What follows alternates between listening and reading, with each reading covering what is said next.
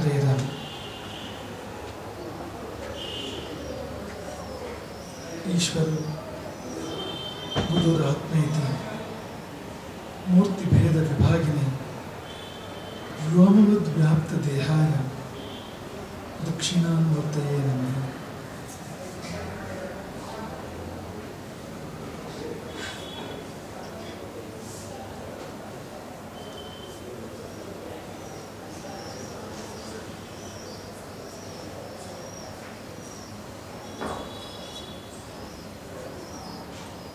ದೇಹಾಯ ಗಣನ ಲಘು ಅಯಂ ನಿಜಃ ಪರೋಭೀತಿ ಗಣನ ಲಘುಚೇತಸಾಂ ಉದಾರಚರಿತಾನಾಂತು ವಸುಧೈವ ಕುಟುಂಬಕಂ. ಇವನು ನನ್ನವ, ಇವನು ನನ್ನವನಲ್ಲ, ಬೇರೆಯವ. ಹೀಗೆಲ್ಲ ಗಣಿಸುವವರು, ಲೆಕ್ಕ ಹಾಕುವವರು ಲಘುಚೇತಸರು ಲಘು ಮನಸ್ಕರು, ಸಣ್ಣ ಮನಸ್ಸಿನವರು. ಯಾರು ಉದಾರ ಚರಿತರೋ ಅವರಿಗೆ ವಿಶ್ವವೆಲ್ಲ ಅವರ ಕುಟುಂಬವೇ. ಚ ಪಾರ್ವತೀ ದೇವಿ. ತಾಯಿ ಪಾರ್ವತಿ, ಪಿತಾ ದೇವೋ ಮಹೇಶ್ವರ, ತಂದೆ ಸಾಕ್ಷಾತ್ ಶಿವ, ಸಹೋದರರು ಶಿವಭಕ್ತರು, ಬಂಧುಗಳು ಶಿವಭಕ್ತರು, ಬಾಂಧವ ಶಿವಭಕ್ತಾಶ್ಚ. ಸ್ವದೇಶೋ ಭುವನತ್ರಯಂ ನಮ್ಮೂರೇ ಮೂರು ಲೋಕ. ಊಟ ಮಾಡುವಾಗ ಹೇಳ್ತಿದ್ವು ನಾವು, ನಮ್ಮ ಚಿಕ್ಕಂದಿನಲ್ಲಿ. ನಮಗೆ ಈಗಲೂ ಕೂಡ ಚೆನ್ನಾಗಿ ನೆನಪಿದೆ. ಊಟ ಮಾಡುವಾಗ ಇದನ್ನು ಹೇಳ್ತಿದ್ವು ಊಟ ಮಾಡುವಾಗ ಸಾಧಾರಣ ಅಂದರೆ ಒಂದು ಮನೆ ಅಂತಂದರೆ ಆ ಮನೆಯ ಆ ಒಂದು ಭಾವ ಬರೋದು ಊಟದ ಸಮಯದಲ್ಲಿ. ಈಗ ಎಷ್ಟೋ ಮನೆಗಳು ಇವತ್ತು ಕೂಡ ಊಟ ಒಟ್ಟಿಗೆ ಮಾಡೋದಂತೆ. ಒಬ್ಬೊಬ್ಬರಿಗೆ ಬೇರೆ ಬೇರೆ ಕೆಲಸ ಇದ್ರು ಬೇರೆ ಬೇರೆ ಸಮಯ ಏನೆಲ್ಲ ಇದ್ರು ಕೂಡ ಊಟ ಎಲ್ಲ ಒಟ್ಟಿಗೆ ಮಾಡೋದು ಬಂದು. ಯಾಕಂದ್ರೆ ಊಟ ಒಟ್ಟಿಗೆ ಮಾಡುವಾಗ ಮನೆಯ ಭಾವ ವ್ಯಕ್ತವಾಗುವಂಥದ್ದು. ಈ ಹೌಸ್ ಮತ್ತು ಹೋಮ್ ಇರೋ ವ್ಯತ್ಯಾಸ ಅದೇ ತಾನೆ. House is made of bricks ಅಂತ. ಅದು ಮಾಡ ಭೌತಿಕ ಬರೀ ಇದು. ಅದು ಹೋಮ್ ಅಂದರೆ ಹಾಗಲ್ಲ. ಅಲ್ಲಿ ಪ್ರೀತಿ ಎಲ್ಲಿ ಪರಸ್ಪರ ಬಾಂಧವ್ಯ, ಇದೆಲ್ಲ ಸೇರಿ ಹೋಮ್ ಅಂತ ಆಗುವಂಥದ್ದು. ಇದು ಹಾಗಾಗಿ ಹಾಗಿರುವಾಗ ನಮ್ಮದೇ ಮನೆಯ ನಾಲ್ಕು ಮೂರು ಜನ ನಾವು ಒಂದು ಅನ್ನೋದಕ್ಕೆ ಇರುವಂಥದ್ದು. ಆದರೆ ಅಲ್ಲಿ ಹೇಳುವ ಶ್ಲೋಕ ಯಾವುದು ಅಂದರೆ ಇದು ತಂದೆ ಎಲ್ಲರಿಗೂ ಒಬ್ಬನೇ, ತಾಯಿ ಎಲ್ಲರಿಗೂ ಒಬ್ಬಳೆ. ಹಾಗಾಗಿ ನಾವೆಲ್ಲರೂ ಸಹೋದರರು ಪರಸ್ಪರ. ಹಾಗಾಗಿ ನಮ್ಮೂರು ಅನ್ನೋದು ಮೂರು ಲೋಕವೇ ನಮ್ಮೂರು. ನಮ್ಮೂರೇ ಮೂರು ಲೋಕ ಅನ್ನೋದೊಂದು, ಮೂರು ಲೋಕವೇ ನಮ್ಮೂರು ಅನ್ನೋದು ಎರಡು ಚಂದವೇ ಇದೆ. ನಮ್ಮೂರಲ್ಲೇ ಮೂರು ಲೋಕ ಕಂಡ್ರೆ ಅದು ಸೊಗಸೆ ಅದು ಮೂರು ಲೋಕವೂ ನಮ್ಮೂರು ಕಂಡ್ರೆ ಅದು ಇನ್ನೂ ಸೊಗಸದು ಇನ್ನೂ ಅದ್ಭುತ ಅದು. ಅಲ್ಲಿಗೆ ಸ್ವದೇಶ ಭವನತ್ರ ಹೀಗಿದ್ದರೆ ಹಿಂದಿನದ್ದು. ನಮ್ಮಮ್ಮ, ಪಾರ್ವತಿ, ನಮ್ಮಪ್ಪ, ಶಿವ ಅನ್ನೋ ಭಾವ ಇದ್ದರೆ ಎಲ್ಲರೂ ನಮ್ಮ ಬಂಧುಗಳು ಭಾವ ಇದ್ದರೆ ಆಗ ಮೂಜಗವೇ ನಮ್ಮ ಮನೆ ಅಂತ ಅನಿಸ್ತದೆ ನಮ್ಮ ಬೌಂಡ್ರಿ ವಿಸ್ತಾರ ಆಗ್ತದೆ. ತೊಂದರೆ ಏನಾಗೋದಿಲ್ಲ ಅದರಿಂದ ಬೌಂಡ್ರಿ ವಿಸ್ತಾರ ಆಗ್ತದೆ. ಸನ್ಯಾಸನ ಅದನ್ನೇ ಹೇಳುತ್ತಾನೆ ಅಂತ. ಇಲ್ಲ ಅಂದರೆ ಒಂದು ಒಂದು ಎಕರೆ, ಎರಡು ಎಕರೆ ಇರೋ ಜಾಗದಲ್ಲಿ ಅಣ್ಣ ತಮ್ಮನೆಲ್ಲ ಪಾಲು ಹಂಚ್ಕೊಂಡು ಒಂದಿಷ್ಟು ಬರ್ತಿತ್ತು ಎಷ್ಟೋ ಒಂದು ಸನ್ಯಾಸ ತಗೊಂಡಿದ್ರಿಂದ ಭೂಮಿ ಮೇಲೆ ನಂದು ಅಂತ ಹಾಗಾಯ್ತು ಲಿಮಿಟೇಷನ್ ಹೋಯ್ತು. ಇದೇ ಲಿಮಿಟೇಷನ್ ಇರ್ತಿತ್ತು. ಇಷ್ಟೇ, ಒಂದೇ ಮನೆ, ಒಬ್ಬಳೇ ತಾಯಿ, ಇಷ್ಟೇ ಜನ ಸಹೋದರರು. ಬಂಧುಗಳು ಒಂದು ಇಷ್ಟೇ ಅನ್ನೋ ಸಂಪತ್ತು ಒಂದು ಇಷ್ಟೇ ಅಂತ. ಆದರೆ ಯಾವ ಯಾವಾಗ ಸನ್ಯಾಸ ಸ್ವೀಕಾರವಾಯಿತು, ಆಗ ಜಗತ್ತೆಲ್ಲ ಕುಟುಂಬ, ಮತ್ತು ಭೂಮಂಡಲ ಎಲ್ಲ ಅಷ್ಟು ನಂದೇ ಅಂತ ಒಂದು ಭಾವ ಬಂತಲ್ಲಿ ಇದು ಈ ಅತಿಥಿ ಸತ್ಕಾರ ಏನಿದೆ? ನೃಯಜ್ಞ, ಮನುಷ್ಯ ಯಜ್ಞ ಅಂತ ಕರೀತಾರೆ. ಐದನೇದು. ಪಂಚಯಜ್ಞಗಳ ಬೆಂಕಿಯಲ್ಲಿ ಈ ಮನುಷ್ಯ ಯಜ್ಞದ ಹಿಂದಿನ ಪ್ರಿನ್ಸಿಪಲ್ ಅಜ್ ಅಯಂ ನಜಫ್ ಪರೋವೇತಿ ಇಲ್ಲ ಅಲ್ಲಿ. ಎಲ್ಲ ನನ್ನವರು ಎನ್ನುವ ಭಾವ. ತುಂಬ ಸುಂದರವಾಗಿರ್ತಕ್ಕಂಥ ಒಂದು ಭಾವ ಅದು. ಅಂದರೆ ಈಗ ನಾನು ಮೊದಲು. ಆಮೇಲೆ ನನ್ನ ಹೆಂಡತಿ, ನನ್ನ ಮಕ್ಕಳು, ನನ್ನ ನೆಂಟರು, ನಮ್ಮೂರಿನವರು, ನಮ್ಮ ಜಾತಿಯವರು, ನಮ್ಮ ಭಾಷೆಯವರು, ನಮ್ಮ ಪರಿಚಯದವರು ಹೀಗೆ ತಾನೇ ಹೋಗುತ್ತೆ ನಮ್ಮ ಜಗತ್ತೊಂದು ಇಷ್ಟೇ ತಾನೆ ಅಂತ. ಅತಿಥಿ ಅಂದರೆ ಯಾವುದೂ ಬರೋದಿಲ್ಲ ನಮಗೆ ಹೇಳಿ ಬರುವವನಲ್ಲ ಹೇಳಿ ಬರುವವನು ಅಭ್ಯಾಗತ. ಗೊತ್ತಿದ್ದು ಬರುವವನು, ಕುರಿತಾಗಿ ಬರುವವನು ಅಭ್ಯಾಗತ. ಅತಿಥಿ ಅಂದರೆ ಅವನಿಗೂ ಗೊತ್ತಿಲ್ಲ, ನಮಗೂ ಗೊತ್ತಿಲ್ಲ ಅನ್ನೋ ಥರ ಇರುತ್ತೆ ಅದು ಅಂತ. ಅನಿರೀಕ್ಷಿತವಾಗಿ ಬರುವವನು. ಅವನ ಕುಲ ಗೋತ್ರ ಜಾತಿ ಗೊತ್ತಿಲ್ಲ ನಮಗೆ ಅಂಥವನು. ಅವನಿಗಾಗಿ ಕಾಯಬೇಕಂತೆ. ಅಡಿಗೆ ಸಿದ್ಧಪಡಿಸ್ಕೊಂಡು ವೈಶ್ವದೇವ ಎಲ್ಲ ಮಾಡಿ, ಬಲಿಹರಣ, ನೆನೆ ಏನು ಹೇಳ್ತು ಭೂತಯಜ್ಞ ಅದನ್ನು ಮಾಡಿ, ಒಂದು ಮುಹೂರ್ತದ ಎಂಟನೇ ಒಂದು ಭಾಗದಷ್ಟು ಸಮಯವನ್ನು ಪ್ರತೀಕ್ಷೆ ಮಾಡಬೇಕು, ಮನೆ ಅಂಗಳಕ್ಕೆ ಬಂದು ಪ್ರತೀಕ್ಷೆ ಮಾಡಬೇಕು ಅಂತಲೇ ಇದೆ ಟಿ ವಿ ನೋಡ್ತಾ ಇರುತ್ತೆ ಅಂತೆಲ್ಲ. ಒಂದು ಆ ಟೈಮ್ ಆದಮೇಲೆ, ಈಗ ವಿಶ್ವದೇವ ಆದಮೇಲೆ, ಒಂದು ಇಂಥ ಮುಹೂರ್ತದ ಎಂಟನೇ ಒಂದು ಭಾಗ ಪ್ರತೀಕ್ಷೆ ಮಾಡಬೇಕಲ್ಲ. ಅಷ್ಟು ತಂದು ಯಾವುದಾದ್ರು ಟಿ ವಿ ಪ್ರೋಗ್ರಾಮ್ ಮಾಡಿಬಿಡು, ಹಂಗಲ್ಲ. ಮನೆ ಅಂಗಳಕ್ಕೆ ಬಂದು ಪ್ರತೀಕ್ಷೆ ಮಾಡಬೇಕು. ಗೋದೋಹ ಕಾಲ, ಗೋದೋಹನ ಅಂತ ಅಲ್ಲಿ ಕರೀತಾರೆ. ಗೋ ಈ ಗೋವಿನ ಮೇಲೆ ತುಂಬ ಲೆಕ್ಕಾಚಾರಗಳಿದ್ಬಿಟ್ಟಿದೆ ಗೋದೋಹನ ಅಂದರೆ ಶಬ್ದಾರ್ಥ ಹಾಲು ಕರೆಯೋದು ಅಂತ. ಆದರೆ ಇಲ್ಲಿ ಅದು ಅದನ್ನು ಸಮಯದ ಮಿತಿಯಾಗಿ ಬಳಸ್ತಾರೆ ಅದನ್ನ ಅಂತ. ಮುಹೂರ್ತದ ಎಂಟನೇ ಒಂದು ಭಾಗ. ಅದನ್ನು ಗೋದೋಹನ ಅಂತ ಕರೀತಾರೆ. ಅಂತ ಒಂದು ಎವರೆಸ್ಟ್ ಹಾಲು ಹಾಲು ಕರಿಬೇಕಾಗತ್ತದು ಅಂತ ಅರ್ಥ ಅದಕ್ಕೆ. ಹಾಗೆ ಅಷ್ಟು ಕಾಲ ಅತಿಥಿಯ ಪ್ರತೀಕ್ಷೆಯಲ್ಲಿ ಇರಬೇಕು ಅಂತ. ಹಾಗನ್ನುವಾಗ ಅಲ್ಲಿ ಸ್ವಾರ್ಥ ಕಿತ್ತು ಹೋಯ್ತೇನೆ ಈಗ ನಾನೇ ದುಡಿದ ಅನ್ನದಿಂದ ನಾನೇ ದುಡಿದ ಹಣದಿಂದ ಖರೀದಿ ಮಾಡಿದಂಥ ಧಾನ್ಯಗಳು. ಅಡುಗೆ ಮಾಡೋಳು ನನ್ನ ಹೆಂಡತಿ. ಹೀಗಿರುವಾಗ ಈ ನಮ್ಮನೆ ಬಾವಿ ನೀರು. ಅದಕ್ಕೆ ಹೀಗೆಲ್ಲ ಇರುವಾಗ ಕಾಯೋದು ಯಾರಿಗಾಗಿ, ಯಾರಿಗೆ ಅಂತ ಗೊತ್ತಿಲ್ಲ ಅಂತ. ಅವನಿಗೆ ಒಂದು ಯಾರು ಬರುವರು ಅಂತ ಗೊತ್ತಿಲ್ಲ ಅಂತ. ಯಾರು ಬರ್ಬೋದು. ಅವನು ಯಾರು ಅಂತ ಕುಲಗೋತ್ರ, ವಿತ್ತ ವಿದ್ಯಾ ವಿಷಯಗಳ ವಿಚಾರಿಸದೆ ಅಂತ ಊಟ ಹಾಕು ಪೂಜೆ ಮಾಡಿ ಊಟ ಹಾಕು ಅಂದ್ರೆ ಮನುಷ್ಯನ ಮನಸ್ಸನ್ನು ಎಷ್ಟು ಎತ್ತರಿಸ್ತಾರೆ ಅವರು ಅಂತ ಈ ಒಂದು ಸಂಸ್ಕಾರಗಳ ಮೂಲಕ ಎಷ್ಟು ಎತ್ತರಿಸ್ತಾರೆ. ಇದೆಲ್ಲ ಮಾಡ್ತಾ ಇದ್ರೆ ಅವನು ಗೃಹಸ್ಥ ಆದ್ರೂ ಕೂಡ ಸಂತನೆ ಸಂತನಾಗಿರ್ತಾನೆ ಅವನು. ಮನೆಯೇನು ಮಠನಿರಗೆ ಕಟ್ಟದ ಕವಿ ಹೇಳಿದಾಗೆ ಆ, ಕಾಷಾಯವೇಂ ತಪಸ್ಸು ಅಂತ ಹೇಳ್ತಾರೆ ಅವರು. ನೀನು ಬರೀ ಕಾಷಾಯವೇ ತಪಸ್ಸ? ಗೃಹಲೋಕ ನಿರ್ವಾಹ ವೇಷ ತಾಳದ ತಪಸ್ಸು. ಆ ವೇಷ ಇಲ್ಲ ಅಷ್ಟೇ. ಗೃಹಲೋಕ ಮುಖ ಅಂದರೆ ಗೃಹಸ್ಥ ಧರ್ಮದ ನಿರ್ವಹಣೆ ಇದೆಯಲ್ಲ, ಅಲ್ಲಿ ಕಷಾಯ ವೇಷ ಮಾತ್ರ ಇಲ್ಲ. ವೇಷ ತಾಳದ ತಪಸ್ಸು, ಕಠಿಣ ಕಠಿಣತರ ತಪಸ್ಸು. ಇದಕ್ಕಿಂತ ಕಠಿಣವಾದ ತಪಸ್ಸು ಅದು. ಕಷಾಯ ಧಾರಣೆಗಿಂತ ಕಠಿಣವಾಗಿರ್ತಕ್ಕಂಥ ತಪಸ್ಸು. ಅದು. ಅಷ್ಟು ಚೆನ್ನಾಗಿ ಹೇಳ್ತಾರೆ ಅವರು. ಇದೆಲ್ಲ ಮಾಡಿದ್ರೆ ನಮ್ಮ ಸಂತರ ಥರ ಅಲ್ಲದೆ ಬೇರೆ ಏನಾಗ್ತಾನೆ ಈಗ ನಾವು ಮಂತ್ರಕ್ಷತೆ ಕೊಡುವಾಗ ಅಲ್ಲಿ ಯಾರು ಬರ್ತಾರೆ ಅಂತ ನೋಡೋದಿಲ್ಲ. ಯಾರು ಬರ್ತಾರೋ ಈ ಮಂತ್ರಕ್ಷತೆ. ಅದು ಯಾವ ಭಿನ್ನಭೇದವೂ ಇಲ್ಲ. ಒಳ್ಳೆದಾಗಲಿ ಅನ್ನೋ ಭಾವ ಸಮಾನ. ಅವರವ್ರ ಯೋಗ್ಯತೆ ಗೊತ್ತಿರ್ತದೆ ಎಷ್ಟೋ ಆದರೂ ಮುಂದೆ ಲಕ್ಷತೆ ಕೂಡ ಹೊತ್ತಿಗೆ ನಿನ್ಗೆ ಒಳ್ಳೇದಾಗಲಪ್ಪ ಅಂತ. ಸ್ವಲ್ಪ ಒಬ್ಬ ಕಡಿಮೆ ಒಳ್ಳೇದಾಗಲಿ, ಜಾಸ್ತಿ ಒಳ್ಳೇದಾಗಲಿ ಅಂತಲ್ಲ ಇಲ್ಲ ಅಂತ. ಎತ್ತಿ ಕೊಡುವಾಗ ಹೃದಯದಿಂದ ಕೊಡುವಂಥದ್ದು ಅಂತ. ಇದೇ ಭಾವ ಅಲ್ಲಿ ಗೃಹಸ್ಥನಲ್ಲಿದೆ ನಾನು ಅನ್ನ ಹಾಕುವಾಗ ಯಾರು ಅಂತ ಗೊತ್ತಿಲ್ಲದೆ ಕಾಯುವಾಗ ಕಾಯುವಾಗ ನೀವು ಎಷ್ಟು ಚೆನ್ನಾಗಿದೆ ಅದು ಕಾಯೋದು ಅಂತ ಅನ್ನೋದು. ಅದೆಲ್ಲ ಬಿಟ್ಟೇ ಹೋಗಿದೆ. ಸಂಪೂರ್ಣ ಬಿಟ್ಟು ಹೋಗಿದೆ ಅದು ಇತ್ತು ಅಂತ ನಮಗೂ ಗೊತ್ತು. ಅದರ ಪದ್ಧತಿಗಳು ನಮಗೂ ಗೊತ್ತು. ಹಾಗಿತ್ತದು. ಹಾಗೆ ನಡೀತಾ ಇತ್ತು. ಅದು. ಒಂದು, ಒಂದೆರಡು ತಲೆಮಾರಿನವರೆಗೂ ಹಾಗೆ ನಡೀತಾ ಇತ್ತು. ಶಾಸ್ತ್ರಗಳು ಏನು ಹೇಳ್ತವೆ ಅಂದರೆ ದದ್ಯಾದ ಅತಿಥಿಯೇ ನಿತ್ಯ. ಅತಿಥಿಗೆ ನಿತ್ಯವೂ ಅನ್ನದಾನವನ್ನು ಮಾಡು. ನಿತ್ಯವೂ ಮಾಡಬೇಕು. ನಿತ್ಯ ನಿಯಮ ಬುದ್ಧಿ ಪರಮೇಶ್ವರನು. ತಿಳ್ಕೊ ಅವನು ಪರಮೇಶ್ವರ ಬರುವವನು ಸಾಕ್ಷಾತ್ ಪರಶಿವ ಬರುವನು ಭಿಕ್ಷೆಗಾಗಿ ಬರುವ ಭಗವಂತ ಇಂಥ ಪದಗಳೆಲ್ಲ ಬಳಕೆಯಾಗಿದೆ. ಇದೆಲ್ಲ ನೋಡಿದ ಮೇಲೆ ಹೇಳಿ, ಗೊಡ್ಡು ಶಾಸ್ತ್ರ ಈ ಕಂದಾಚಾರ, ಅಂಧಾನುಕರಣೆ, ಗೊಡ್ಡು ಶಾಸ್ತ್ರ ಅನ್ನೋರೆಲ್ಲ ಇಲ್ಲಿ ಬಂದು ನೋಡಿ. ನಾನೇರು ಬೆತ್ತರಕ್ಕೆ ನೀನು ಏರಬಲ್ಲೆಯ ನಾನು ಇಳಿಯುವ ಆಳಕ್ಕೆ ನೀನು ಇಳಿಯಬಲ್ಲೆಯ ಅಂತ ಕವಿ ಕೇಳ್ತಾರೆ. ಕೇಳೋ ಹಾಗಿದೆ ಈ ಎತ್ತರಕ್ಕೆ ಏರಿದೆಯಾ ನೀನು? ಕಂದಾಚಾರ, ಗೊಡ್ಡು ಅಂತ ಹೇಳೋ ಈ ಈ ಎತ್ತರವನ್ನು ಕಂಡಿದೆ ನಿನ್ನ ಜೀವನದಲ್ಲಿ ಗೊತ್ತಾ ನನಗೆ ಇಂಥದ್ದೊಂದು ಎತ್ತರ? ಋಷಿಗಳ ಆಳ, ಋಷಿಗಳ ಎತ್ತರ. ಋಷಿಗಳ ಅಗಲ ನಮ್ಮ ಕಲ್ಪನೆಗೆ ಮೀರಿದ್ದದು ಅಷ್ಟೂ ಒಳ್ಳೆ ಮನಸ್ಸುಳ್ಳವರು ಅಷ್ಟಂತೂ ಖಂಡಿತವರು. ಹಾಗಾಗಿ ದದ್ಯಾದ ಅತಿಥಿಯೇ ನಿತ್ಯಂ, ಪ್ರತಿನಿತ್ಯವೂ ದಾನ ಮಾಡಬೇಕು. ಅಂದರೆ ಅತಿಥಿಗೆ ಆಗುವಷ್ಟು ಹೆಚ್ಚನ್ನು ಮಾಡಿರಲೇಬೇಕು ಮನೆಯಲ್ಲಿ ಕಡ್ಡಾಯ ಅದು. ದಿನವೂ ದಾನ ಮಾಡಬೇಕು. ಅತಿಥಿ ಸಿಗದರೆ ಏನು ಮಾಡಬೇಕು ಅಂತ ಇದೆ ಮುಂದಕ್ಕೆ. ಈಗ ಆ ಪ್ರಶ್ನೆ ಬರುತ್ತೆ ಸಹಜವಾಗಿ. ಅಂತ ಟೆಕ್ನಿಕಲ್ ಪ್ರಶ್ನೆಗಳು ಬೇಗ ಬರೋದು. ಅಂದರೆ ನಮ್ಗೆ ಅದು ಮಾಡೋಕ್ಕೆ ಕಷ್ಟ ಅಂತ ಇರುತ್ತಲ್ಲ. ಹಾಗಾಗಿ ಮನಸ್ಸು ಟೆಕ್ನಿಕಲ್ ರೀಸನ್ಸ್ ಹುಡುಕತ್ತೆ ಅಂತ. ಹೌದ್ರಿ? ಅತಿಥಿ ಒಂಬಂದ್ರೆ ಅಡ್ಡಿಲ್ಲ. ಬದಿರಿ ಏನು ಮಾಡೋದು ಅಂತ. ಯಾರು ಬರಲಿಲ್ಲಪ್ಪ? ನಂದು ಗ್ರಾಮ. ಯಾರು ಬರಲಿಲ್ಲ? ಏನು ಮಾಡೋದು? ದಿನ ದಂಡ ಮಾಡೋದು ಅದನ್ನ ದಂಡ ಅದೇ ಶಬ್ದ ನಮ್ಮ ಮನಸ್ಸಿಗೆ ಬರೋದು ಅಂತ ಮತ್ತೆ ಅದು ವೇಸ್ಟ್ ಅಂತ ನಮ್ಗೆ ಅನ್ಸುತ್ತೆ. ಹಾಗೆ ಇಲ್ವೇ ಇಲ್ಲ.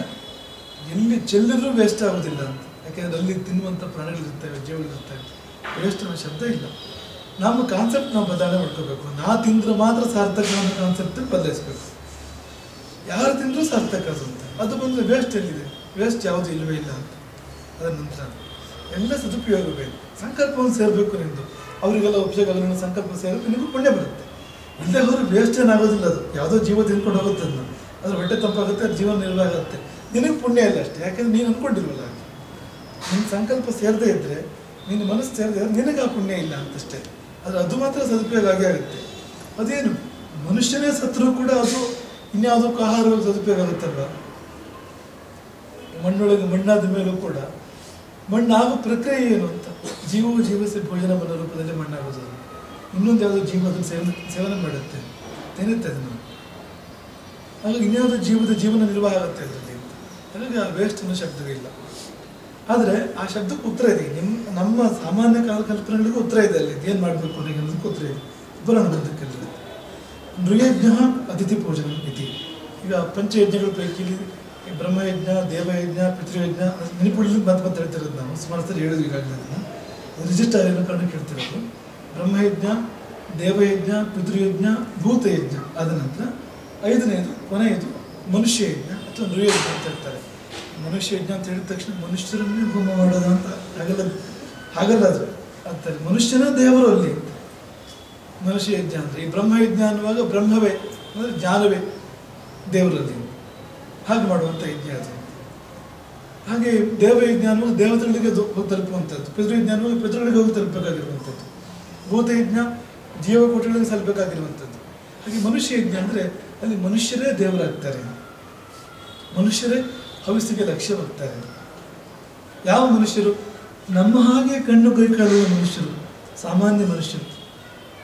ಉಪ್ಪು ಹುಳಿ ಖಾರ ತಿನ್ನೋರು, ನಮ್ಮ ಹಾಗೇನೆ ಸಂಸಾರ ಹೊಂದಿರು ಎಲ್ಲ ನಮ್ಮ ಹಾಗೆ ಇರ್ತಾರೆ ಅವನಲ್ಲಿ ದೇವರನ್ನು ಕಂಡು ನಾವು ಅವನನ್ನು ಪೂಜಿಸಿ ಅವನಿಗೆ ಅವನಿಗೆ ಅವನಿಗೆ ಕೂಡ ಊಟವನ್ನು ಹವಿಸ್ಸು ಅಂತ ಭಾವಿಸುವಂಥದ್ದು ಹಾಗಾಗಿ ನೃಯಜ್ಞ ಅತಿಥಿ ಪೂಜನ ಗತಿ ಅತಿಥಿ ಪೂಜನಂ, ಅತಿಥಿಭ್ಯೋ ಅನ್ನದಾನಂ ಸ ಮನುಷ್ಯ ಯಜ್ಞ ಅತಿಥಿ ಪೂಜನ, ಪೂಜನೂ ಇದೆ ಅಲ್ಲಿ.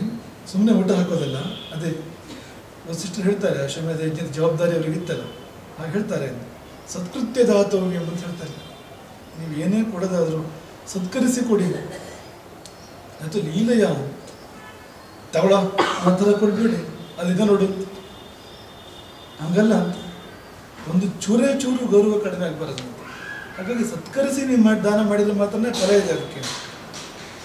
ಅದಿಲ್ಲದಿದ್ರೆ ಅದಕ್ಕೆ ವ್ಯತಿರಿಕ್ತ ಫಲ ಇದೆ, ಪ್ರತಿಕೂಲ ಫಲ ಇದೆ. ಅಪಮಾನ ಮಾಡಿ ಮಾಡಿದ್ರೆ. ಅಸತ್ಕೃತಂ, ಅವಜ್ಞಾತಂ ತದ್ದಾನಂ ತಾಮಸಂಸ್ಕೃತಂ ತಾಮಸದಾನ ಅಂತ ಅದಕ್ಕೆ ಅದಕ್ಕೆ ಪಾಪ ಪಾಪ ಫಲ ಹೊರತು ಪುಣ್ಯ ಫಲ ಅಲ್ಲ. ಹಾಗಾಗಿ ನೀವು ಕೊಟ್ಟರೆ ಎನ್ನುವುದಷ್ಟೇ ಮುಖ್ಯ ಅಲ್ಲ. ಎಷ್ಟೋ ಸತಿ ಶ್ರೀಮಂತರುಗಳು ಅವರ ಹಣದ ದರ್ಪದಲ್ಲಿ ಏನು ಮಾಡ್ತಾರೆ ಅಂದರೆ, ಅಥವಾ ಹಣ ಕೊಡೋ ಉರಿಯಲ್ಲಿ ಎರಡರಲ್ಲಿ ಒಂದು ಕೆಲಸ ಮಾಡುತ್ತಾರೆ. ಏನು ಮಾಡ್ತಾರೆ ಅಂದ್ರೆ ಅವಮಾನಿಸಿ ಕೊಡ್ತಾರೆ. ಅಥವಾ ಸನ್ಮಾನಿಸದೇ ಕೊಡ್ತಾರೆ. ಹಾಗಲ್ಲ. ತನ್ನನ್ನೇ ಪೂಜೆ ಮಾಡ್ಕೊಂಡು ಕೊಡ್ತಾರೆ. ತಾನೇ ದೊಡ್ಡವ ಅಲ್ಲ. ಅವನನ್ನು ಪೂಜೆ ಮಾಡುವ ಅವನನ್ನು ಮೇಲ್ಕೋರಿಸಿ. ಹಾಗಾಗಿ ಅತಿಥಿಭ್ಯ, ಅತಿಥಿ ಪೂಜನ ಮೊದಲು ಅತಿಥಿಗಳನ್ನು ಪೂಜಿಸಬೇಕಾಗಿರೋದು ಮೊದಲು ಅವರಿಗೆ ಉಚಿತವಾಗಿರ್ತಕ್ಕಂಥ ಉಪಚಾರಗಳಿಂದ ಪೂಜಿಸಬೇಕು ಅವ್ರನ್ನ. ಈಗ ಅರ್ಘಿ ಇರ್ಬೋದು ಬಾದ್ಯ ಇರ್ಬೋದು, ಮಧುಪರ್ಕ ಇರ್ಬೋದು, ಆಸನ ಇರ್ಬೋದು, ಅಥವಾ ಪುಷ್ಪಾದಿಗಳಿಂದ ಅರ್ಚನೆ ಮಾಡೋದಿರ್ಬೋದು ಅದನ್ನು ಮಾಡಿದ ಮೇಲೆ ಆಮೇಲೆ ಊಟ ಹಾಕೋದು ನಾವು ಶ್ರಾದ್ದದಲ್ಲಿ ಮಾತ್ರ ಮಾಡ್ತಿರೋದು ಮತ್ತೆಲ್ಲೂ ಮಾಡ್ತಾ ಇಲ್ಲ ಇದನ್ನು. ಮಾಡಬೇಕು ಅಂತ ಪದ್ಧತಿ ಇದು ಚೂರು ಚೂರು ಇದೆ ಈಗ ಇತ್ತು, ಅಂದರೆ ಉದಾಹರಣೆಗೆ ಬಂದ ತಕ್ಷಣ ಕೈಕಾಲ ನೀರು ಕೊಡುವಂತ ಹೊರಗೆ ನೀರು ಇರ್ತಿತ್ತು ಅದು ಚೂರು ಸಂಸ್ಕಾರವಂತರಾದರೆ ಅವರೇ ಬಂದು ನೀರು ಕೊಡಬೇಕು ಅಂತ ಲೆಕ್ಕ. ಅಥವಾ ಕೊನೆ ಪಕ್ಷ ಮನೆಯ ಮಕ್ಕಳು ಯಾರು ಯಾರಾದರೂ ಕಿರಿಯರಾದರೂ ನಾವೆಲ್ಲ ಮಾಡಿದ್ದೇವೆ ನಮ್ಮ ಚಿಕ್ಕ ವಯಸ್ಸಲ್ಲಿ ಅಂತ. ಹೋಗಿ ನೀರು ಕೊಡಬೇಕು, ಆಮೇಲೆ ಟವಲ್ ಕೊಡಬೇಕು, ಕೈ ಕಾಲು ಕೊಡೋದಕ್ಕೆ ಅಂತ ಲೆಕ್ಕ. ಅಲ್ಲಿದೆ ನೀರು ನೋಡುವಂತಲ್ಲ ಅಂತ. ನೋಡಿ ಅಲ್ಲಿ ಅಂಗಳದ ಮೂರನೇದು ನೀರು ಕಾಲು ಬಂದು ಬನ್ನಿ ಅಂದರೆ ನಾವು ಏನೋ ಅವ್ರಿಗೆ ಒಂದು ರಿಸ್ಟ್ರಿಕ್ಷನ್ ಹಾಕಿದಾಗ ಹೊರತು ಹೊರತು ಉಪಚರಿಸಕ್ಕಾಗಿಲ್ಲ ಅಲ್ಲಿ ಹೋಗಿ ಕಾಲು ತಂಪಿಗೆ ನೀರು ಕೊಟ್ಟರೆ ಕೈ ತಂಪಿಗೆ ನೀರು ಕೊಟ್ಟರೆ ಆಮೇಲೆ ಕಾಲು ತೊಳೆದ ಮೇಲೆ ನಾವು ಅದಕ್ಕೆ ಬಟ್ಟೆ ಕೊಟ್ಟರೆ ಅದು ಪೂಜೆ ಪೂಜೆ ರೀತಿ ಆಗುತ್ತೆ ಆಮೇಲೆ ಒಳಗೆ ಮೇಲೆ ಬಂದ್ಯ? ಕೂತ್ಕೋ. ಇದು ಇದು ಕಂಪಲ್ಸರಿ ಅಂತ.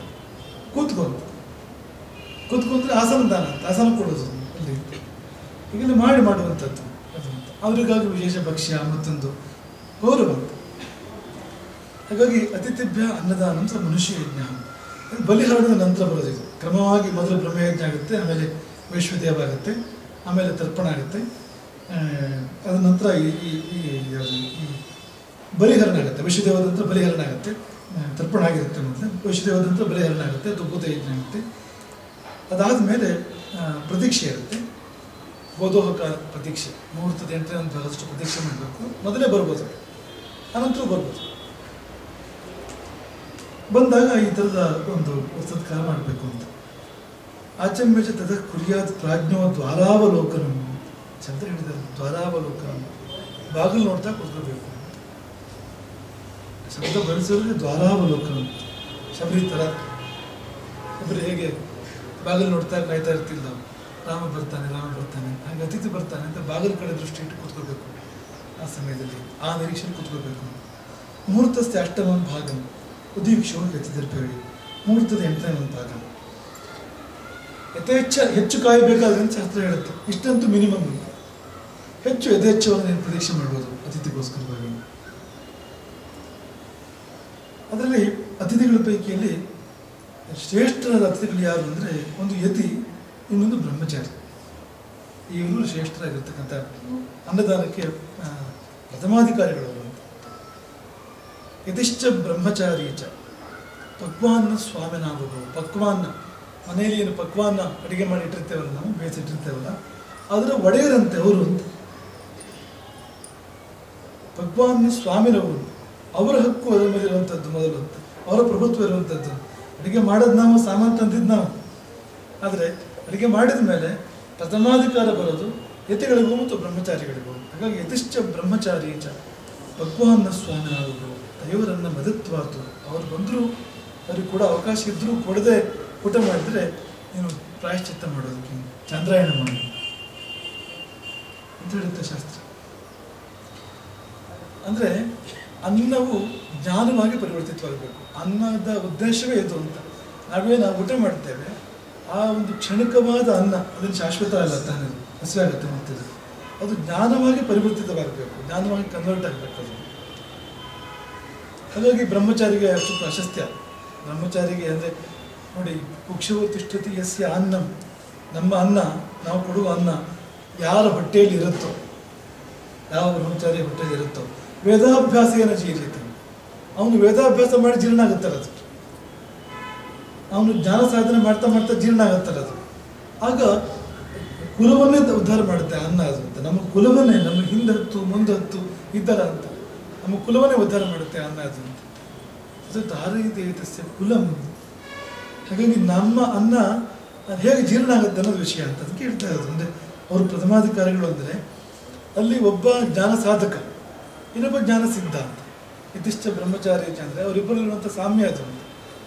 ಒಬ್ಬನು ತಿಳಿಯುವ ಪ್ರಯತ್ನದಲ್ಲಿದ್ದಾನೆ. ತಿಳಿಯಲು ಉಪಾಸನೆ ಮಾಡ್ತಾ ಇದ್ದಾನೆ ಒಬ್ಬ ಅಂತ, ಬ್ರಹ್ಮಚಾರಿ. ಇನ್ನೊಬ್ಬ ತಿಳಿದು ನಿಂತಿದ್ದಾನೆ, ಅದನ್ನು ಪ್ರಪಂಚ ಹಂಚಲಿಕ್ಕೆ. ಅಂದರೆ ಒಬ್ಬನು ತಗೊಳ್ತಾ ಇರೋಳು ಒಬ್ಬನು ಕೊಡ್ತಾ ಇರೋಳು ಜ್ಞಾನದ ಎರಡು ತುದಿಗಳಲ್ಲಿ ಇರುವಂತಿರುವಂಥವ್ರು ಇಬ್ಬರು ಕೂಡ. ನೀ ತುದಿಲಿ ಆ ತುದಿಲಿ. ಒಬ್ಬನು ಜ್ಞಾನ ಪಿಪಾಸು, ಜ್ಞಾನ ಜ್ಞಾನ ಬುಭುಕ್ಷು ಜ್ಞಾನಾಕಾಂಕ್ಷಿಯವನು, ಜ್ಞಾನವನ್ನು ಪಡ್ಕೊಳ್ತಾ ಇದ್ದಾನು ಮಗ ಮಗದು ತುಂಬಿಕೊಡ್ತಾ ಇದ್ದಾನೆ ತನ್ನೊಳಗೆ. ಅವನು ಬ್ರಹ್ಮಚಾರ್ಯ. ಯತಿ ಅವನು ತುಂಬಿ ತುಳುಕ್ತಾ ಇದೆ ಅದು ಹೊರ ಜಗತ್ತಿಗೆ ಅದು ಹರಿತಾ ಇದೆ. ಅದು ಮತ್ತು ಯತಿ ಶಬ್ದ ಕಥೆ ಅಂದರೆ ಯತಿ ಪ್ರಯತ್ನ ಅಂತ ಧಾತು. ಅಂದರೆ ಯತ್ನಶೀಲ. ನಿರಂತರವಾಗಿ ಆ ಬ್ರಹ್ಮವನ್ನು ಪಡ್ಕೊಳ್ಳೋದು ಯತ್ನಶೀಲ ಅವನು ಅಂತ. ಅಂದರೆ ಯತಿ ಅವನು ಗುರಿಯನ್ನು ತಲುಪಿದ್ರೆ ಅದು ತುಂಬಿ ತುಳುಕ್ತಾ ಇರುತ್ತೆ ಜ್ಞಾನ ಹೊರ ಪ್ರಪಂಚಕ್ಕೆ ಸಲ್ತಾ ಇರುತ್ತೆ. ಇಲ್ಲ ಅಂದರೆ ಆ ಯತ್ನ ಮಾಡ್ತಾ ಇರ್ತಾನೆ ಅವನು. ಆ ಸಾಧನೆ ಮಾಡ್ತಾ ಇರ್ತಾನೆ ಹಾಗಾಗಿ ಅಲ್ಲಿ ಹೋಗಿ ಆ ಅನ್ನ ವಿನಿಯೋಗ ಆದರೆ ನಿನಗದರ ಗುಣ ದೊಡ್ಡದು. ಯಾಕೆಂದ್ರೆ ನಿನಗೂ ಅಲ್ಲಿ ಒಂದು ಕನೆಕ್ಷನ್ ಏರ್ಪಟ್ಟೋಯ್ತು ನೀ ತಂದ ಸ್ನಾನ ನೀ ಮಾಡಿದ ಅಡುಗೆ, ನೀನು ಕೈ ಎತ್ತು ಕೊಟ್ಟಿದೆಯೇ ಅನ್ನಕ್ಕೂ ನಿನಗೂ ಒಂದು ಅವಿನಾಭಾವ ಬಂದ ಬಂದ್ಬಿಡುತ್ತೆ. ಅದಲ್ಲಿ ಹೋಗಿ ಕೂತ್ಕೊಳ್ಳುತ್ತೆ ಅವನ ಒಳಗಡೆ ಹೋಗಿ ಕೂತ್ಕೊಳ್ಳುತ್ತೆ.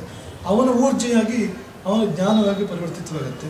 ಆಗ ಅಲ್ಲಿಗೂ ಇಲ್ಲಿಗೂ ಒಂದು ಆ ಸುಜ್ಞಾನಕ್ಕೂ, ಆ ಆತ್ಮ ಚೈತನ್ಯಕ್ಕೂ ನಿನಗೂ ಒಂದು ಸೇತುವೆ ಏರ್ಪಟ್ಬಿಡ್ತಲ್ಲ, ಅನ್ನವೇ ಸೇತುವೆ ಆಯ್ತಲ್ಲ. ಅಂತಹ ಸದುಪಯೋಗ ಆಯ್ತಲ್ಲ ಅದು.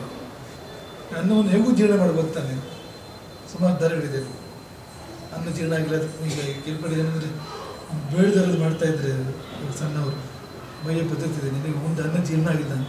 ಹೀಗೆಲ್ಲ ಮಾಡ್ತೀವಿ. ಹೇಗಾದ್ರೂ ಮಾಡಿ ಜೀರ್ಣ ಮಾಡ್ಬೋದು ಅಂತ, ಅದೆಲ್ಲ. ಹೀಗೆ ಜೀರ್ಣ ಮಾಡಬೇಕು ನಾನು ಅನ್ನವು ಜ್ಞಾನವಾಗಿ ಪರಿವರ್ತಿತವಾಗಬೇಕು. ಹಾಗಾಗಿ ಅವರಿಬ್ಬರು ಕೂಡ ಪಕ್ವಾನ್ನ ಸ್ವಾಮಿಗಳು. ಬ್ರಹ್ಮಚಾರಿ ಕೂಡ ಸ್ವಾಮಿ. ಪಕ್ವಾನ್ನ ಸ್ವಾಮಿ. ಹಾಗಾಗಿ ಹಕ್ಕಿನಿಂದ ಅವರು ಅನ್ನವನ್ನು ತಗೊಳ್ತಾರೆ ಎಷ್ಟು ಚೆನ್ನಾಗಿದೆ ವ್ಯವಸ್ಥೆ ಇದು. ತಿಳಿವಿಗೆ ಸರ್ವೋಚ್ಚ ಸ್ಥಾನ. ಯತಿ ಬಗ್ಗೆ ಅಂತೂ ಇದನ್ನು ಹಿಂದೆ ಒಂದ್ಸರಿ ಪ್ರಸ್ತಾಪ ಮಾಡಿದ್ರು. ಪುನಃ ನೆನಪಿಸ್ತೇವೆ. ಯತಿ ಭಿಕ್ಷೆ ಬಗ್ಗೆ ಅಲ್ಲೇ ಒಂದು ಪ್ರಾಚೀನ ಸ್ಮೃತಿಯಲ್ಲಿರೋ ಮಾಡ್ತದ್ದು ಯತಿಹಸ್ತೆ ಜರಂ ದದ್ಯಾತ್. ಯತಿಯ ಕೈಗೆ ನೀರು ಕೊಡು. ಭೈಕ್ಷ್ಯಂ ದದ್ಯಾತ್. ಭಿಕ್ಷೆಯನ್ನು ಕೊಡು. ಪುನರ್ಜರಂ. ಮತ್ತೆ ನೀರು ಕೊಡು. ಅಂದರೆ ಪದ್ಧತಿ ಅವ್ರದ್ದು ಎರಡು ಸರಿ ನೀರು ಕೊಡು ನೀರು ಕೊಡು ಅಂತ ಊಟದ ಮೊದಲು ಒಂದು ಊಟದ ಕೊನೆಯಲ್ಲಿ ಒಂದು ಅಮೃತ ಮಾಡೋಕ್ಕೆ ಅಂತ ಎರಡು ಸತಿ ಯಾವುದೇ ಹಸ್ತೋದಕ್ಕೆ ಅನ್ನೋದಾಗಿರುತ್ತೆ ಮೊದಲೊಂದೇ ಕೊನೆಗಳು ಮಂತಿರುತ್ತೆ ಅದು ಆಗ ಅದೇನಾಗುತ್ತೆ? ನೀನು ನೀನು ಕೊಡುವ ನೀರು ಏನು ಎಷ್ಟಪ್ಪ? ಒಂದು ಇಷ್ಟು ತುಂಬ ಅಷ್ಟು ನೀರು ಕೊಡ್ತೀನಿ ಅಷ್ಟೇ. ಮಾಷ ಮಜ್ಜನ ಮಾತ್ರ ಅಂತ. ಅಂದರೆ ಒಂದು ಉದ್ದು ಮುಳುಗುವಷ್ಟು ಅಂತ. ಅಷ್ಟು ನೀರು ಕೊಡೋದಷ್ಟೇ ಅಂತ. ಆ ನೀರು ಸಾಗರ ಆಗುತ್ತೆ. ಎಂಟು ತುತ್ತಿನ ಅನ್ನ ಊಟ ಮಾಡುವಂಥದ್ದು. ಅಲ್ಲಿ, ಆ ಅನ್ನ ಮೇರು ಪರ್ವತ ಆಗುತ್ತೆ ಪರಾಶಸ್ಮೃತಿ ಹೇಳುತ್ತೆ ಇತಿಹಸ್ತೆ ಜಲಂ ದದ್ಯಾತ್.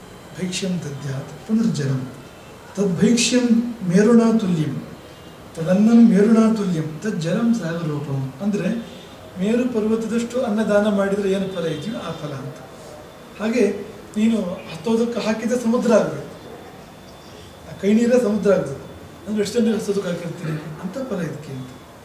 ಅಕ್ಷಯ ಫಲ. ಅಂತ ನೀನು ಇಂತಿಷ್ಟು ಅಂತ ನೀನು ಒಂದು ಮಿತಿ ಮಾಡೋಕ್ಕೆ ಸಾಧ್ಯ ಇಲ್ಲ. ಅಷ್ಟು ದೊಡ್ಡ ಫಲ ಇದೆ. ಯಾವುದೇ ಯತಿ ಭಿಕ್ಷೆಗೆ ಹಾಗಾಗಿ ಅದು ಪ್ರಥಮ ಪ್ರಾಶಸ್ತ್ಯ ಯತಿ ಸಿಕ್ಕಿದ್ರೆ ಭಿಕ್ಷೆಗೆ ಅದು ತುಂಬ ಪ್ರಾಶಸ್ತ್ಯ ಅದು. ಹಾಗೆ ಮುಂದುವರೆದು ಹಾರಿದ್ರು ಹೇಳ್ತಾರೆ, ವಿಷ್ಣುದೇವ ಯತಿಶ್ಚಾಯ ವಿಷ್ಣುವೇ ಯತಿ ರೂಪದಲ್ಲಿ ಬಂದಿದ್ದಾನೆ. ಈಗ ಪಾದ ಪೂಜೆ ಮಾಡುವಾಗ ಕೂಡ ಒಂದು ನಾರಾಯಣ ಪ್ರತಿ ಮಾತು ಮಾತಿಗೆ ನಮೋ ನಾರಾಯಣ ಒಂದು ನಾರಾಯಣನ ಪೂಜೆ ಮಾಡೋದು. ಚಲರೂಪಿ ಅಷ್ಟೇ. ದೇವ ದೇವಸ್ಥಾನದೊಳಗಿನ ಮೂರ್ತಿ ಅದು ಸ್ಥಿರ ರೂಪ ಅದು. ಇದು ಇದು ಹಾಗಾಗಿ ವಿಷ್ಣುರೇವ ಯತಿಶ್ಚಾಯಂ ಇದು ನಿಶ್ಚಿತ್ಯ ಭಾವಿಯ. ಹೀಗೆ ನಿಶ್ಚಯಿಸಿ ಭಾವಿಸು. ಸುಮ್ಮನೆ ಹೇಗೆ ಭಾವಿಸುವಂತಲ್ಲ ಹೀಗೆ ನಿರ್ಣಯಿಸಿ, ಹೀಗೆ ನಿಶ್ಚಯಿಸಿ ಭಾವಿಸು. ಇತಿರ್ಯ ಈಗ ಈಗ ಯತಿಗೆ ಭಿಕ್ಷೆಯನ್ನು ಮಾಡು? ಮಾಡಿದ್ರೆ ಏನಾಗುತ್ತೆ? ಇತಿರ್ಯಸ್ಯ ಗೃಹ ಭಂತಿ. ಯಾರ ಮನೆಯಲ್ಲಿ ಯತಿ ಭೋಜನ ಮಾಡ್ತಾನೋ, ಭಿಕ್ಷೆ ಮಾಡ್ತಾನೋ, ತಸ್ಯ ಭಂತಿ ಹರಿ ಸ್ವಯಂ ಅದು ಹರಿ ಭೋಜನ ಮಾಡ್ತಾ ಇರೋದು. ಯತಿ ಅಲ್ಲ.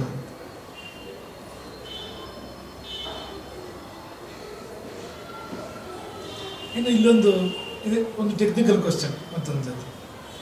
ಈಗ ವೈಶ್ವದೇವ ಮಾಡಿ ಬಲಿಹರಣ ಮಾಡಿ ಕಾಯೋದು. ಅತಿಥಿಗಳನ್ನು ಕಾಯೋದು ಅಂತಿದೆ. ಮೊದಲೇ ಬಂದ್ಬಿಟ್ರೆ? ಮೊದಲೇ ಬಂದ್ಬಿಟ್ರೆ ಮೊದಲೇ ಹಾಕಿ. ಇನ್ನೂ ಮೊದಲೇ ಬಂದುಬಿಟ್ರಿ? ಈ ವೈಶ್ವದೇವ ಏನು ಆಗಿಲ್ಲ ವೈಶ್ವದೇವ ಆಗಿಲ್ಲ. ಈಗ ಬಂದ್ಬಿಟ್ಟ ಅತಿಥಿ. ಏನು ಮಾಡೋದು? ಈಗ ದೇವ ಯಜ್ಞ ಮಾಡಬೇಕು ಮೊದಲು? ಅಂದರೆ ದೇವರಿಗೆಲ್ಲ ಮೊದಲು ಕೊಡಬೇಕು ಅತಿಥಿ ಮೊದಲು ಕೊಡಬೇಕು?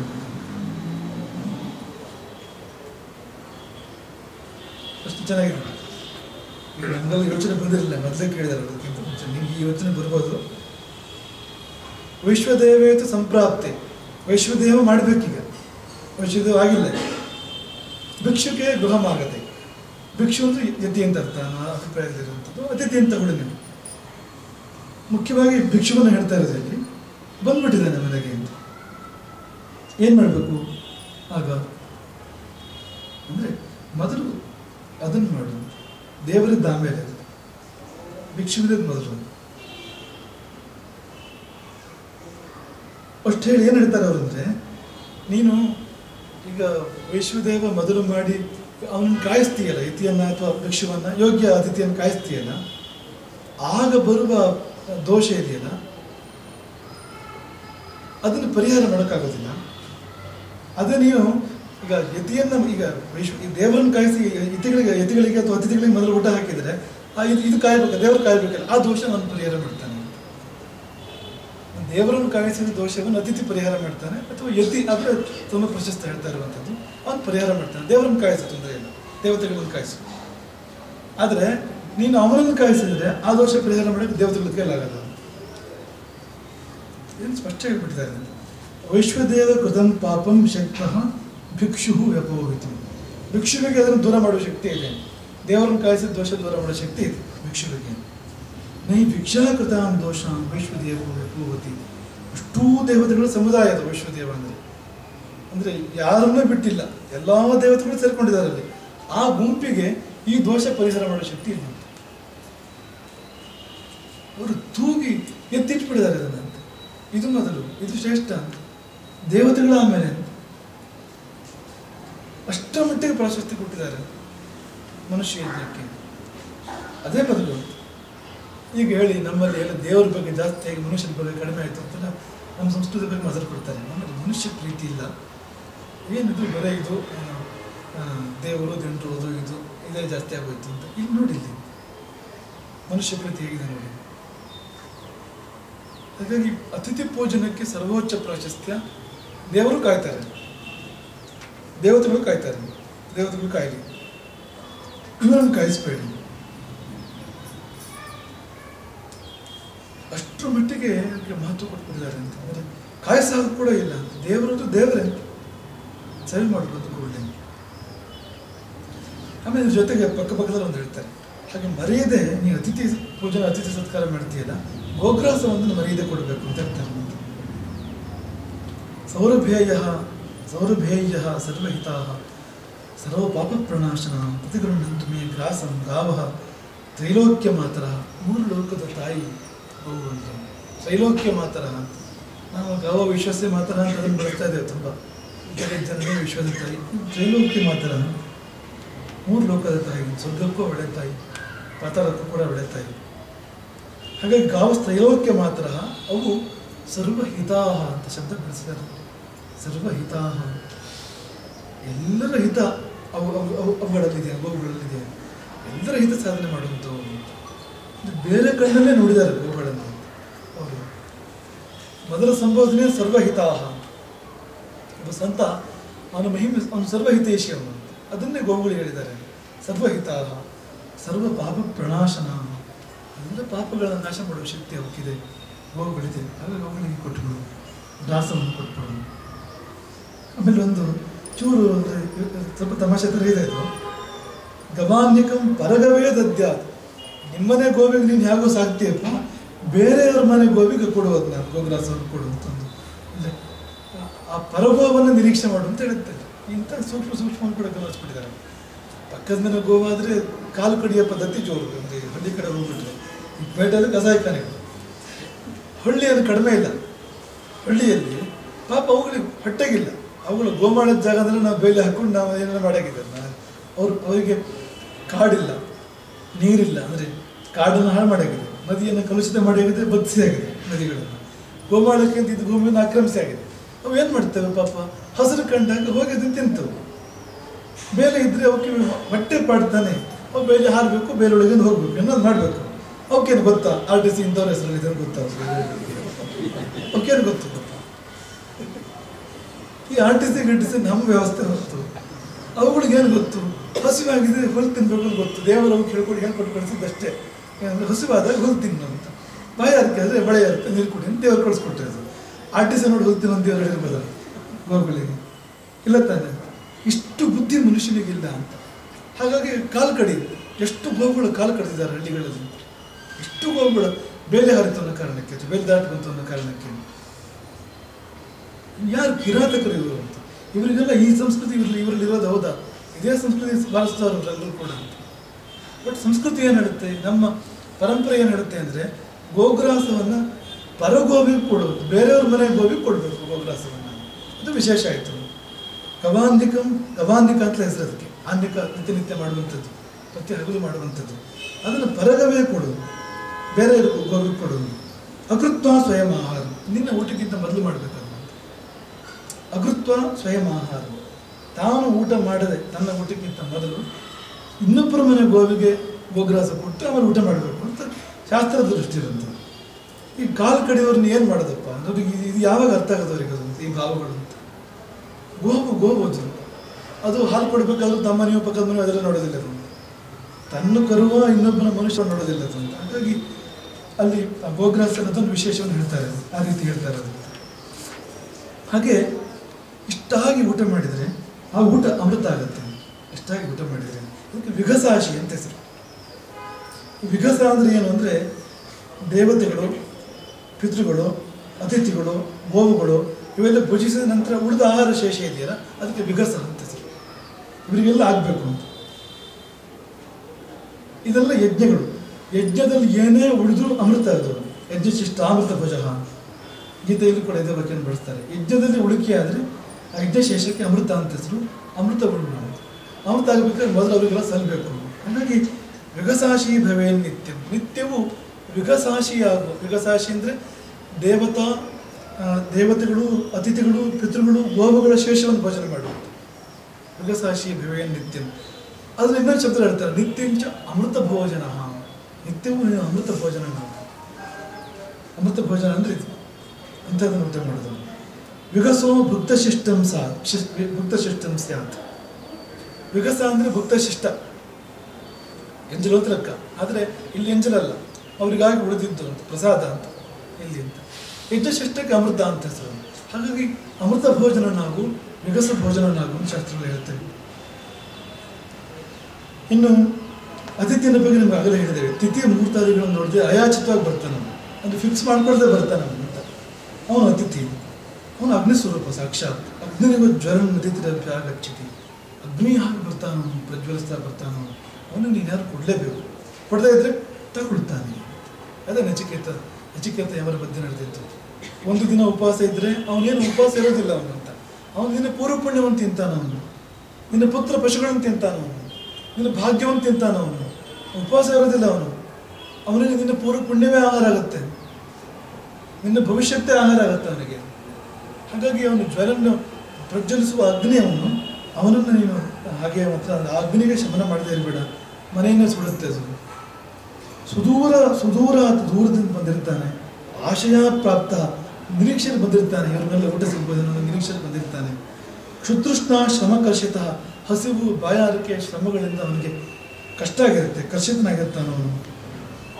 ಅಂಥವ್ರನ್ನ ಪೂಜೆ ಮಾಡಬೇಕು. ಅಂಥವ್ರು ಸಿಕ್ಕಿಬಿಟ್ರೆ ಇವ್ರು ಹೇಳೋದು ಅನ್ನದ ಆಸೆಯಿಂದ ಬಂದಿರ್ತಾನೆ, ಅವನಿಗೆ ಶ್ರಮ ಆಗಿರುತ್ತೆ ಬಯಾರಿಕೆ ಆಗಿರುತ್ತೆ, ಹಸಿವಾಗಿರುತ್ತೆ ಅಂಥವ್ನು ಸಿಕ್ಬಿಟ್ರೆ ಅದು ಯೂಪಸ್ತಂಭಗಳಿಲ್ಲದೆ ಇರತಕ್ಕಂಥ ಯಜ್ಞ ಅದು. ಅಲ್ಲೇನು ಚಪ್ಪರ ಇಲ್ಲ ಯೂಪಸ್ತಂಭ ಇಲ್ಲ, ಅಗ್ನಿ ಇಲ್ಲ ಅಂದ್ರೆ ಯಜ್ಞವೇ ಇದು ಅಜ್ಞಾತ ಕುಲನಾಮಾನು. ಅಜ್ಞಾತ ಕುಲನಾಮಾನು, ಕುಲ ಗೋತ್ರ ಹೆಸರು ಗೊತ್ತಿಲ್ಲ. ಅಂತ ಅಕಿಂಚನ ಅವನತ್ರ ಏನೂ ಇಲ್ಲ ಅಲ್ಲಿ, ಊಟ ಮಾಡೋಕೆ ಅವನ ಸ್ವಂತದ್ದು ಏನೂ ಇಲ್ಲ. ಅಂಥವ್ನು ಶಕ್ತಿ ಶಕ್ತಿ ಮೇಲೆ ಪೂಜೆ ಮಾಡಬೇಕು. ಹಾಗಂತ ಅರೇ ಅದು ಬ್ರಾಹ್ಮಣರಿಗೆ ಪೂಜೆ ಮಾಡಿದ್ರೆ ಪೂಜೆ ಅಂತಲೇ ಬಿಡಿಲ್ಲ ಅಂತ. ಪಾಪೋಬ ಅವನು ಪಾಪಿಯಾಗಿರ್ಬೋದು. ಇದು ಚಾಂಡಾಲ ವಿಪಗ್ನ ಬ್ರಹ್ಮಹತ್ಯೆ ಮಾಡಿರ್ಬೋದು ಅವನು. ಒಂದು ಮಹಾಪಾತಕಿ ಆಗಿರ್ಬೋದು ಪಿತೃಘಾತಕ ಪಿತೃಘಾತಿ ಆಗಿರ್ಬೋದು ಅವನು ವೈಷ್ಣದೇವದ ಭಕ್ತಿ ಭಕ್ತಿಗೆ ಬಂದರೆ ಅವನು ಅದು ಯಾವುದೂ ಅಲ್ಲ, ಸ್ವರ್ಗ ಸಂಕ್ರಮ ಸ್ವರ್ಗಕ್ಕೆ ಕಟ್ಟಿದ ಸೇತುವೆ ಅವನು. ಭೂಮಿಗೂ ಸ್ವರ್ಗಕ್ಕೂ ಸೇತುವೆ ಅವನು. ವೈಶ್ವದೇವ ಹೊತ್ತಿಗೆ ಏನಾದರೂ ಬಂದರೆ. ಇಷ್ಟು ಹೇಳ್ತಾರೆ ಅಂತ. ಹಾಗಾಗಿ ಅದು ಏನೂ ನೋಡಬೇಡ. ಆ ಸಮಯದಲ್ಲಿ ಅಭ್ಯಾಗತ ಗೊತ್ತಿತ್ತು ಯಾರಾದರೂ ಬರೋದಾದರೆ ಜ್ಞಾತಪೂರ್ವ ನಿಶ್ಚಯ ಮಾಡ್ಕೊಂಡು ಬರೋದಾದರೆ ಅಭ್ಯಾಗತ ಅತಿಥಿ ಅಲ್ಲ. ಹಾಗೆ ಭೋಜನದಲ್ಲಿ ಯಾರು ಮೊದಲು, ಯಾರು ಕೊನೆಗೆ ಅಂತ ಒಂದು ನಿಯಮ ಇದೆ. ಮೊದಲು ಅತಿಥಿ, ಭೋಜಯ ಪೂರ್ವ ಅತಿಥಿ. ಮೊಟ್ಟ ಮೊದಲು ಅತಿಥಿಗೆ ಊಟ ಆಗಬೇಕು ಆಮೇಲೆ ಕುಮಾರ, ಮಕ್ಕಳಿಗೆ ಊಟ ಆಗಬೇಕು ವ್ಯಾಧಿತ ಕಾಯಿಲೆ ಇರೋರಿಗೆ ಊಟ ಹಾಕಬೇಕು ರೋಗಿಗಳಿಗೆ ಊಟ ಹಾಕಬೇಕು ಗರ್ಭಿಣಿ ಗರ್ಭಿಣಿಯಲ್ಲಿ ಮೊದಲು ಊಟ ಹಾಕಬೇಕು ಸುವಾಸಿನಿ. ತಂಗಿಯರು, ಮಗಳು ಹೆಣ್ಣು ಮಕ್ಕಳು ಬಂದರೆ ಅವರಿಗೆ ಮಗು ಊಟ ಹಾಕಬೇಕು. ಆಮೇಲೆ ಸ್ಥವಿರ ವಯಸ್ಸಾದವರು, ಅವ್ರಿಗೆ ಮೊದಲು ಊಟ ಹಾಕಬೇಕು. ಜಗನ್ನಿನ ಅನುಷ್ಠಾನ ಪರಿಚಾರಕರು ಅವಳು ಕಾಣಬೇಕು ಅವ್ರಿಗೆ ಊಟ ಹಾಕಿದ್ಮೇಲೆ ಊಟ ಮಾಡಬೇಕು ಯಜಮಾನ ಹೀಗಿದೆ. ಹೀಗೆ ಹೇಳಿದೆ. ವಿವರಣೆ ಕೂಡ ಕೊಟ್ಟಿದೆ ಸುವಾಸನ್ಯ ಗುಹಿತರ ಭಗಿನ್ಯಷ್ಟ ಸುವಾಸನ್ಯ ಅಂದರೆ ತಂಗಿಯರು ಮತ್ತು ಹೆಣ್ಮಕ್ಳು ಸ್ಥವಿರಾಹ ವೃದ್ಧ ಜಗನ್ಯಾಹ ಅಂದರೆ ಪರಿಚಾರಕ ಅವ್ರಿಗೆ ಮೊದಲು ಊಟ ಹಾಕಬೇಕು ಆಮೇಲೆ ಊಟ ಮಾಡಬೇಕು. ಆಳು ಕಾಳುಗಳಿಗೆ ಬಿಟ್ಟಿದ್ದನ್ನು ಕೊನೆಗೆ ಹಾಕೋದಲ್ಲ. ಮೊದಲು ಹಾಕಬೇಕು ಅಂತ ಶಾಸ್ತ್ರ ಹೇಳುತ್ತೆ. ಅವರಿಗೆ ಅಲ್ಲಿ ಗೌರವ ಕಡಿಮೆ ಮಾಡಿದ್ದಾರೆ. ಹಾಗೆ ಒಂದು ಒಂದೊಂದು ಕಡೆಗೆ ಇಂಥದ್ದು ಮಾತು ಬರುತ್ತೆ.